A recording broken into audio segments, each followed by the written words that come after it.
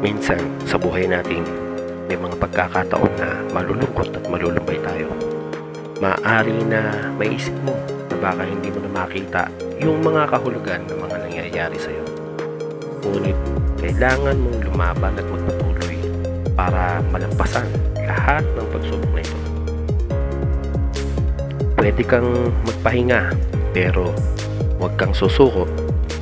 Gawin nating positibo ang mga bagay-bagay na negatibo.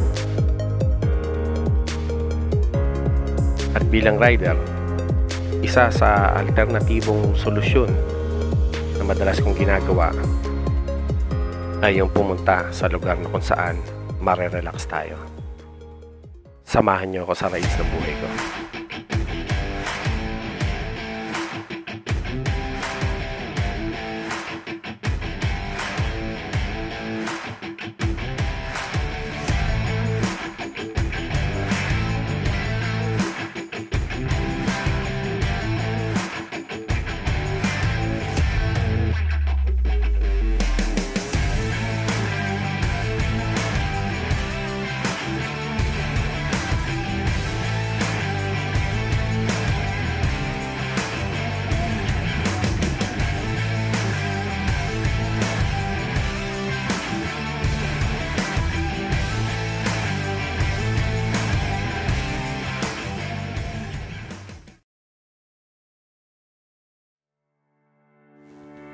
Yes, sir. Basta mga tol. O, alam nyo na kung nasan tayo. Yes, nandito tayo sa Marilake. Ito yung lugar na pakiwari ko eh, lagi siyang tahimik, payapa, at alam mo yun, sa dami ng mga pinagdadaanan natin sa araw-araw, yung mga stress, yung mga problema, maaaring may mga hinanakit ka. Eh dito, pag nag-unwind ka, sigurado tanggal yan. Dahil sa dami ng makikita mo rito. Tiyak, lahat ng mga pinagdadaanan mo suliranin, tanggal yan. Minsan, mapapaisip ka na lang talaga. Ano ba hiwagang nababalot dito sa Sierra Madre? Bakit ang daming bumabalik dito? Iba't ibang individual, mapa riders, mapa gumagamit ng four wheels, iba't ibang estado sa buhay. Madalas halos buuin na lang isang linggo, magpabalik-balik lang dito sa taas.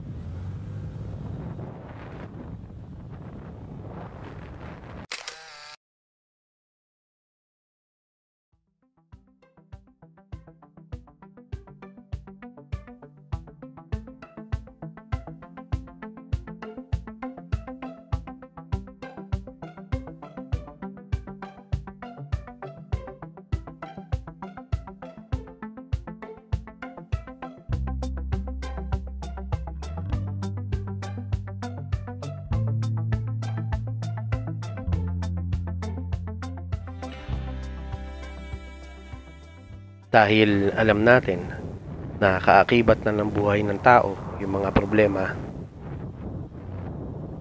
Magandang suwestyon na maibibigay ko sa inyo para kundi man maibsan ng tuluyan, eh at least panadalian natin matakasan yung mga problema. Pasyal kayo dito sa Marilake.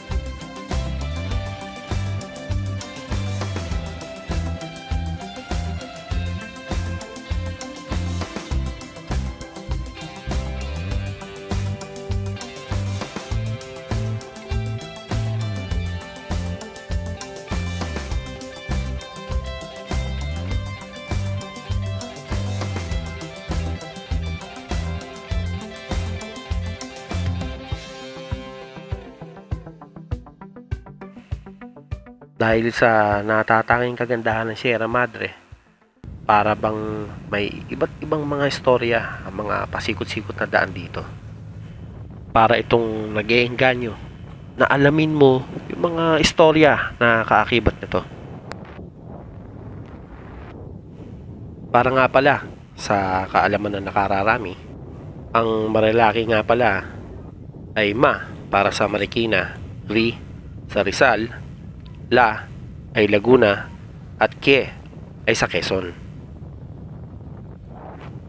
Ang Marikina Infanta Highway ay kilala rin bilang Marilake Highway, gayon din ang dating pangalan nitong Marcos Highway, Marilake Road o Marikina Infanta Road ay isang magandang bundok na may isang daan at labing pitong kilometrong highway na nag-uugnay sa Metro Manila pa Infanta, Quezon.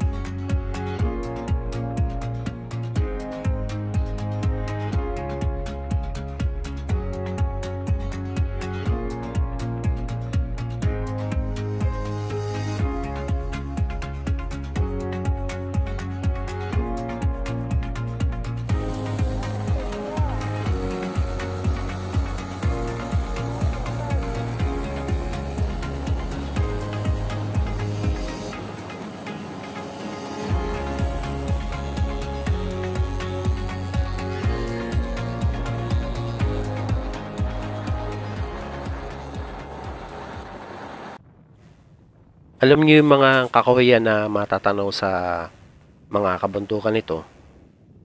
Para tong katulad doon sa nasa Baguio o sa Tagaytay.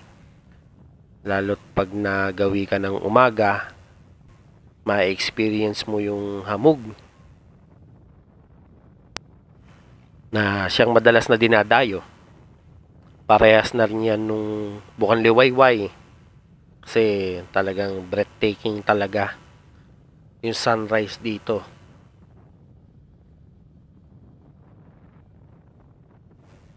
Aside sa mga mountain views, tingin ko, isa sa pinaka-importanting dahilan kaya marami bumabalik dito ay yung mga importanteng memories na mabubuo sa pagpasyal dito.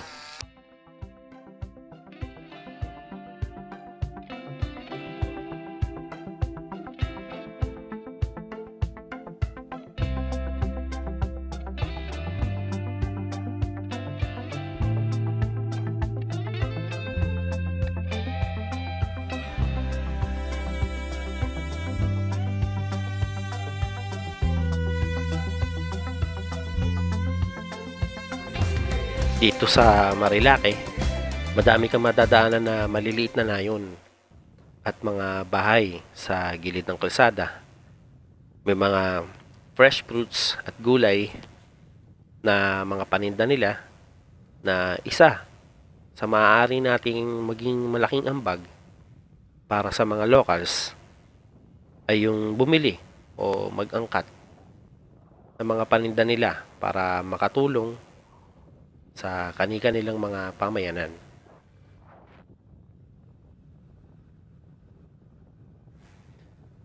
Para naman dun sa mga babiyahe pabalik ng Maynila, dun sa parehong ruta, tandaan na yung tanawin ay maiiba kapag naglalakbay ka na sa kabilang direksyon. Kaya yung biyahe pabalik ay sigurado magiging kasiyasiya katulad nung pagpunta mo.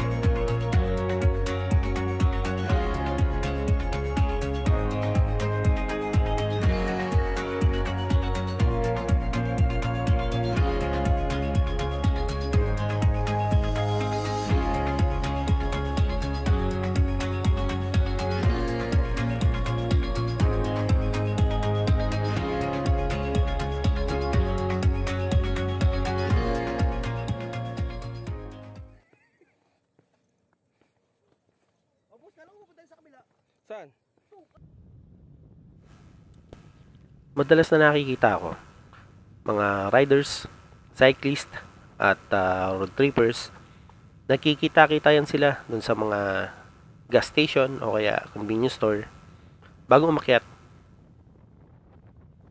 Madalas nga pag nakaakit na sila kontento na yan sa simpleng kape lang uh, mami pares yan.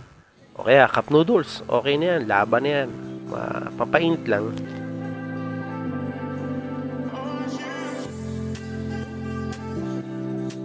at bilang si Moto Kusina uh, isa sa pinaka gusto ko dito sa mga highway na available sa taas ng Marilaki yung grabe itik na itik ng dami ng mga restaurant.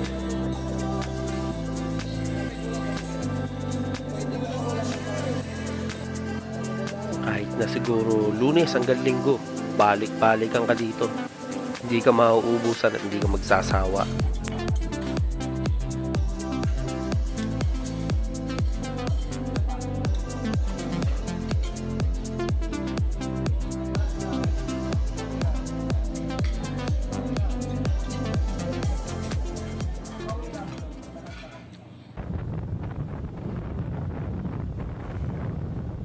Kaya ako alam ko, itong Marilaki, isang napakagandang instrumento na makakatulong sa'yo para maibsan yung mga dinaraing mo sa buhay. Kung may mga pinagdadaanan ka, isa sa magandang solusyon, mag-unwind ka, mag-relax ka. Kumbaga sa amin nga mga riders, ang tawag namin dyan, chill rides lang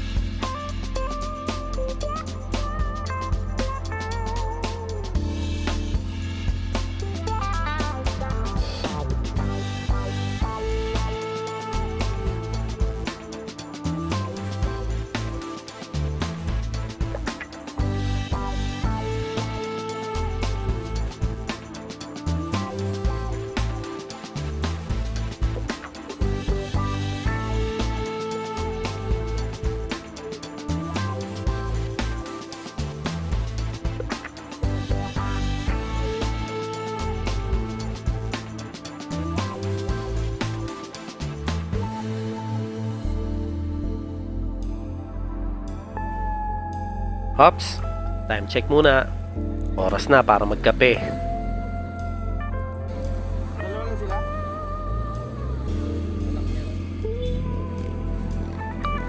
Shoutout nga pala sa Picamp.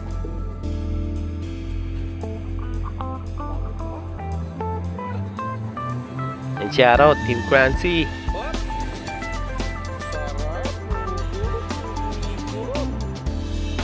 Shoutout Kamote Riders Pasig. Kahit pagpupunta ka dito, minsan, huwag mo susuluhin. Tama mo yung tropa. Naniniwala din ako na meron tayong mga sarili-sariling kakayanan para lumikha ng ating personal na kaligayahan. At kung nanaisin natin, magagawa natin ang lahat ng kailangan upang makamit ito. Ngunit, kailangan natin ng mga layunin at kahulugan, inspirasyon, pag-asa, para makawala ka sa mga pagsubok na maaari pa nating kaharapin.